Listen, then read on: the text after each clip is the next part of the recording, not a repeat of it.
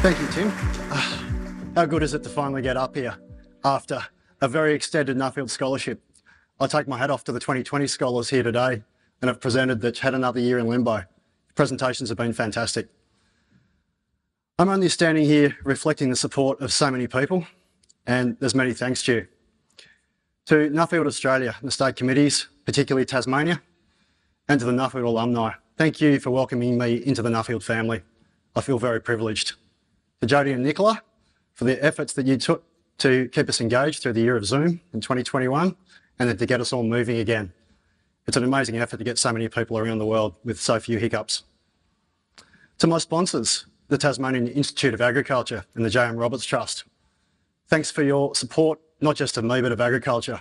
We need more support for agriculture to be recognised for the importance it plays in our lives. Um, I think Nuffield asks a lot of our, of not just the scholars, but our families, probably more so. And so to my wife, Sally, and Ollie, Joe and Amy, who've made the trip over from Tassie. Thanks for your love and support and the freedom to go and make the most of that opportunity. I couldn't have done it without you. And to our team at home, I'm really lucky that we've got a great team of people working in our business. They kept the wheels turning and the right things happening at the right time. And to my fellow scholars, I think one of the highlights of the trip was the GFP and just bouncing ideas around. That's what Nuffield's to me is all about. I'm the owner manager of Glenelg Estate, a long-term family business in southern Tasmania. Uh, we run approximately 15,000 merino sheep for fine wool, 350 Angus cattle, uh, with some agroforestry. Uh, most of our native forests now managed for carbon trading rather than timber. And due to our very dry and unreliable climate, in 2016 we put in our first 20 hectare vineyard, which is shortly going to be 35 hectares, presenting some challenges in finding staff, hence being up here today. We, our team is so important to our business, but very few from a background in agriculture. Hugo, our vineyard manager, is a former teacher. Eva is a former product manager with Kmart. Louise is in her first job out of school. Viv's a former tree faller. Alice is a former chef. And we only have one person who has a more traditional background in doing a bit of casual work around the traps and lamb marking and then coming to work for us.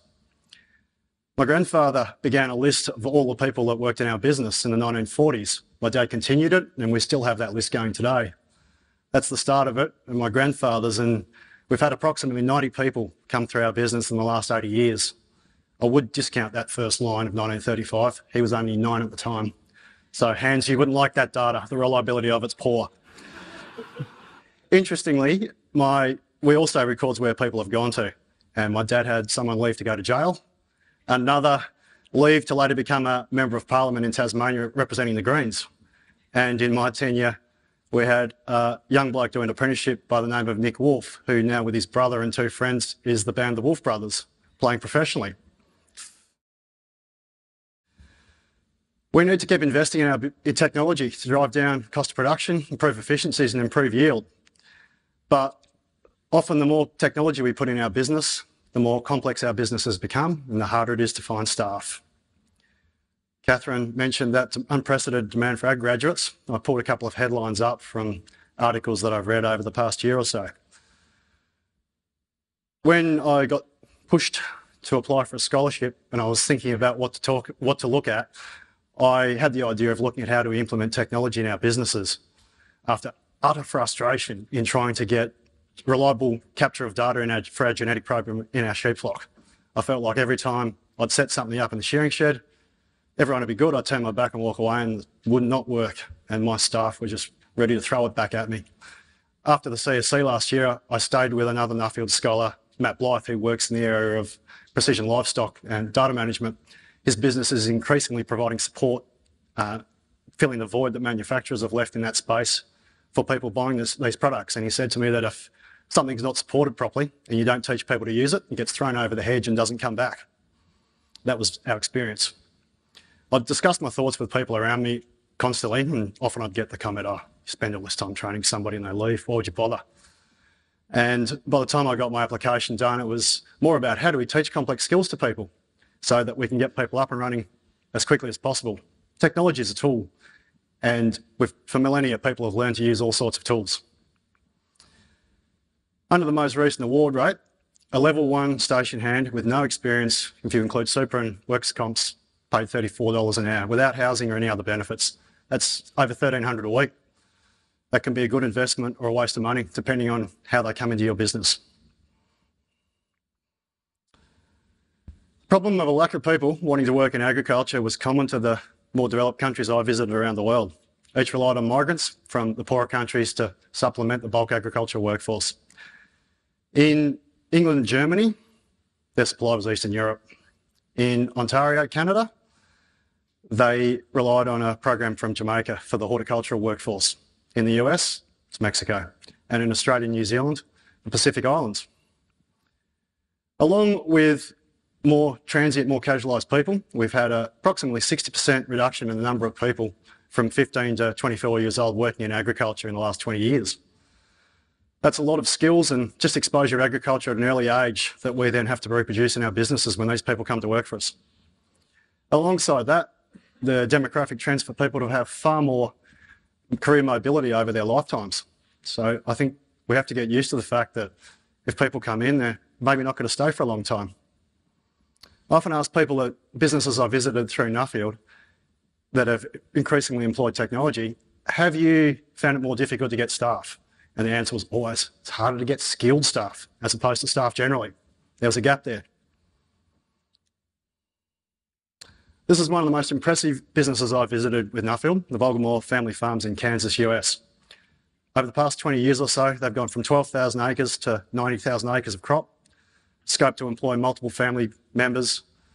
There were a couple of cases when we visited of first and second generation employees working in the business together. And the owners were committed to the education of staff. They actively encouraged and sponsored their team members to attend university. And then those skills were then transferable to their training. They had the scale, of course, they were employing a lot of people, but with seasonal workers, the cost and the time involved in training could spread but be between multiple field managers who were well skilled. We stayed with them on our GFP overnight. Their central complex was all one building, their workshop, meeting rooms, boardroom, an apartment, and one central kitchen. And walking into that kitchen to me with their staff was like walking into a happy family home. It was, I've never experienced it in a workforce before, and it's something that we are trying to replicate in our much smaller business. The owners uh, left after about half an hour and we spent more time with the operations managers than we did with the owners themselves. Most of the most, one of the most important features of the Vulgamore business was their scale. That's their chemical batching plant behind us on that slide. Not, you don't see very many like that. Not in Tasmania anyway. But having, a, as I said, a number of well-educated, skilled people, um, having scale made training far more easy, easier. Another business that I saw at a smaller scale but increasing the, their reach was Overland Farms in Canterbury, UK. Uh, it's run by Henry Miles. He's built his business on the back of servicing greenhouses primarily for one Dutch client and now looks after the clean out between crops and tidy up of around 50 hectares of glass, a massive business. He relies on casuals from Poland primarily. The seasonality and continued loss of casual staff and then having to retrain him made him look for more avenues to keep staff employed. So he's begun trying to pull a growth medium out of those greenhouses, recycle it, turn it into potting mix. I was unfortunately there between, well, the crops were still growing, so there wasn't as much activity as normal. The two slides show the, the pile of bags of coir on one side, then his screening plant and potting mix coming out on the other side, sold to our equivalent of Bunnings. For him, again, scale and then consistency of work made the difference between retention of the skills and the time involved in training or losing it.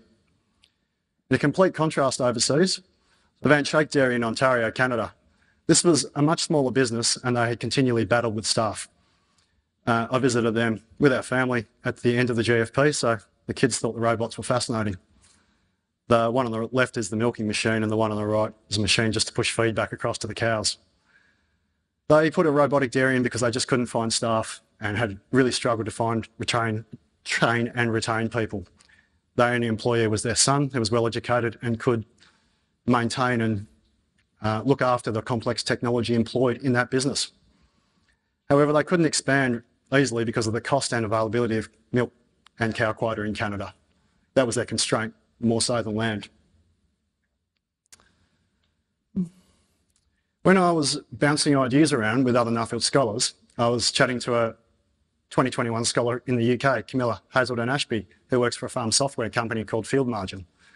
I was talking to her about how do you make technology usable so that people can pick it up and, and run with it with no hassles. She told me to read that book, The Design of Everyday Things by Don Norman. It's a Bible of design students. And that book introduced to me the conceptual or the mental model, which is a representation in someone's mind of how something works. I found it really interesting in Nick's talk where he was talking about the, the sales pitch to new entrants in the northern cattle industry compared to the reality of another 10,000 calves to go after the first one. If we're going to train somebody and bring them into our businesses with no exposure in agriculture, we need to understand our mental models and what another person's might be. Um, a second idea came from our host from the Kansas USA GFP League, Russell Platchka. Prior to his current role with the US Depart sorry, Kansas Department of Agriculture, he worked in education and said that education relies on teaching graduated skills, with each level creating a foundation for the next. And then said to me, Have you ever thought about what you do every day in your business? What's a level one skill for you? And then said, For someone who's never been on a farm before, a level one skill might be as simple as opening a gate. That was a Google search for farm gate latches. You can see what Russell's getting at. Mm-hmm. I'll refer back to the slide I said where there's 60% less people from 15 to 24 year olds working in agriculture. And I suspect the problem's earlier than that. Um, there's less people working or living in uh, rural communities and they're not growing up with some exposure to agriculture. I look at my kids sitting over there and kids of my friends who have grown up around farms. By the time they're 12, they can help in the yards with sheep and not get in the way. And that just comes from exposure. So I think our mental models is partly experience. And we, as employers, if we're bringing new people in, we have to replace that. The existing vocational training system in agriculture provides a national curriculum designed to ensure trainees have consistent skills at completion. However, very important, however, if someone's at TAFE, they're probably at your business for 44 weeks a year and maybe at TAFE for four. So it relies on our skill, our ability to teach those practical skills to completion. Our trainee, Louise, through her TAFE course, she's done a course that says she can use a chainsaw, box ticked. Pete, who's been with us for years, I think he was using a chainsaw before a knife and fork as a kid. We had to send Louise out with him and say, Pete, make sure that she can use a chainsaw. Don't leave it up to TAFE because I'm not confident in their ability to teach those practical skills to the point where people are not going to get hurt. This is a similar system to vocational training around the world. Skilled employees need that right environment to get there. And as employers, we have to provide it. Four basic methods of learning. I'll come back to that photo in a minute. Reading and writing. Watching, listening, and doing. Those sheep learn by watching. One of the rat bags up there found a hole in the fence to get up on top of that building. It is built into the side of the hill, so it's not as hard as it looks. And the others all followed. And thankfully, they went back in the same direction. If we want to learn how to teach people and get our ideas across, we need to understand how people learn. That is out of the instructions for the card game Exploding Kittens, which was given to my seven year old daughter for her birthday a couple of weeks ago. In Australia, hang on, I'll let you read that. In Australia, the education levels of our workforce in agriculture, um, we've got 55% of our workforce has no post-secondary education compared to 33% of the general population. Giving someone a pile of written material and asking them and expecting to read it and take it in is probably not going to work. Really great example in our business. A few years ago, um, we'd bought a 20 tonne excavator and Pete, who's an excellent machinery driver, managed to get caught on a rock down in a hole and pop the track off. If I gave him a book and explanation about how to read to get the track back on, it would never have worked. Unfortunately, he had a poor education experience and struggles with reading and writing. So we got out of the hole, ducked up on a hill where we had phone service and got YouTube out and type it in, how to get a, 20, a track back on a 20 ton excavator. And sure enough, there was a video for it. We watched that. Three hours later, we're away again, going, all happy. But providing that material in the right format, absolutely critical. So what I've learned, casualised and transient workforce is normal in developed countries. We're more likely to be employing people for short time. And the likelihood is they'll have no exposure to agriculture when they start with us. They may not stay for long. We need people. no matter how good the technology gets, there's a lot of jobs in farming that we can't do. I actually thought maybe 10 years ago that shearing would be an alternative to shearing, but the more books I read about technology, the more I talk to people, I just, I can't see us getting there. Not for any time soon. Every sheep's almost the same, but it's not quite. Skilled employers, employees need us to teach those skills, and we need to understand how to do that.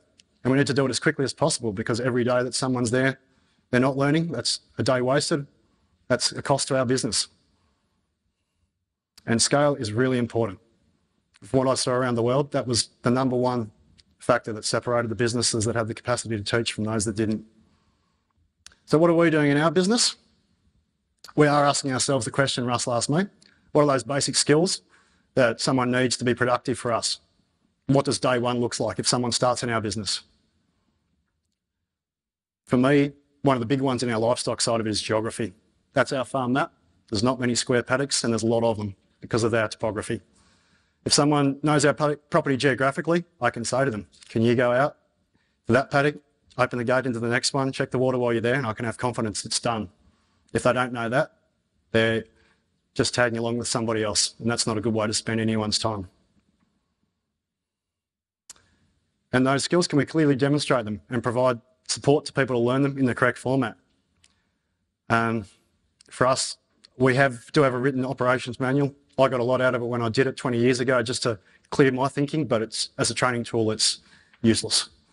I think we need to be moving towards more video references, more demonstrations, and provide those to people so that they've got them on their phones all the time. Everyone has their phone with them all of the time. Can we increase our scale? Oh, sorry, too quickly. Um, not geographically, I don't think, but we have been able to do that by putting our vineyard in. Um, we've got another 20 hectares surveyed after our current planning's in, and in a couple of years' time, when we see some cash flow back, we'll look to move again. And collaboration, it's been a bit of a theme for the last couple of days. Uh, we've got a friend who grows strawberry runners, and his peak periods don't overlap with ours. So we think there's some opportunities there to hopefully share some work between us, keep people employed, and not lose that training once we've gone through it. So that is the end for me. My report has far more information in it. You can read it, but only if you're someone who learns by reading. If not, please catch up with me before the end of the conference. And thank you.